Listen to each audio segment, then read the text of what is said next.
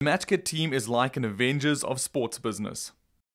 We have Ben Karpinski, who went from superfan to content creator, who specializes in making athletes look good. Bryan Habana, one of the rugby few true global icons, both on and off the field. Shaka Sisulu, an expert in crowdfunding and community management projects. And then me, Mike Sharman, specializing in digital marketing, having founded Africa's most viral communications agency.